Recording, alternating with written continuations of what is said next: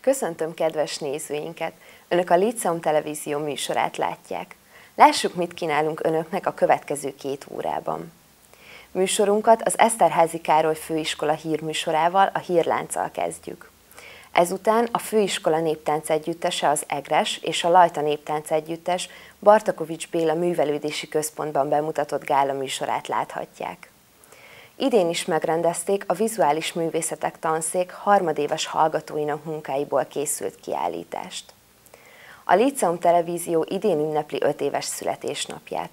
Ez alkalomból a 2005 és 2006-os év adásaiból készült összefoglalónkat láthatják. Műsorunkat az Eszterházi Károly Főiskola himnuszával zárjuk. Jó szórakozást, tartsanak velünk!